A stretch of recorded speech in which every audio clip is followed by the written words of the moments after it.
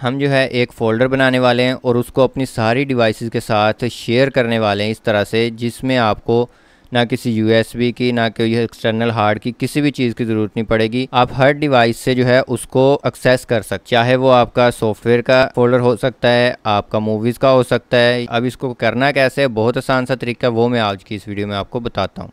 असलम दोस्तों, मेरा नाम है सलमान दीप। आप देख रहे हैं Deep technology lab YouTube channel. तो चलें स्टार्ट करते हैं आज का हमारा टॉपिक सबसे पहले हम एक फ़ोल्डर बना लेते हैं। मैं क्या करता हूँ राइट क्लिक करता हूँ न्यू पे और यहाँ पे मेरा फ़ोल्डर बन गया। अब इस फोल्डर को हमने शेयर करना है बाकी सब डिवाइसेस के साथ। सिर्फ़ आपके पास जो है सेम वाईफाई होना चाहिए, बाकी और कुछ नहीं चाहिए इसमें। अब इस पर मैं क्या करता हूँ राइट क्लिक कर देता हूँ प्रॉपर्टी में चला जाता हूँ, उसके बाद शेयरिंग में, उसके बाद यहाँ पे मेरे पास शेयर वाला इस पर क्लिक करता हूँ। उसके बाद यहाँ पे एवरीवन सबके साथ करूँगा ऐड कर रहा हूँ और इधर हमारे पास दो ऑप्शन है कि आपने सिर्फ़ उनको दिखाना है कि इसमें क्या क्या है या वो उसके अंदर चीज़ें रख सकते हैं या डिलीट कर सकते हैं। मैं कह रहा हूँ कि चीज़ें रख सकते हैं डिलीट कर सकते हैं। मैं जो वर्क के लिए बना रहा हूँ तो इसीलिए इसको सिलेक्ट करूँगा। मैं सिंपल शेयर पर क्लिक कर देता हूँ।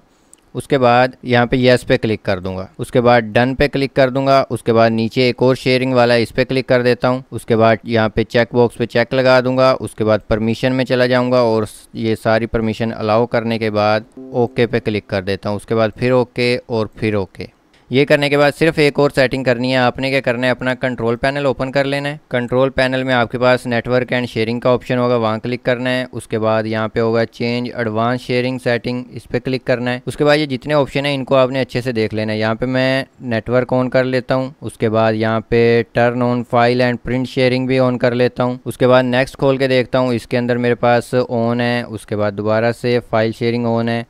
उसके बाद इसके नीचे जो है एक और यहाँ पे इसको भी ऑन कर देते हैं। उसके अंदर ये भी है और यहाँ पे पासवर्ड है। पासवर्ड में सिंपल ऑफ़ कर देता हूँ और यहाँ पे सेव चेंजिंग पे क्लिक कर देता हूँ। इतना सा काम है। अब ये फोल्डर जो है मेरे दूसरे सिस्टम्स में देखने के लिए मैं क्या करूँगा? ये नेटवर्क वाला ओपन करूँगा।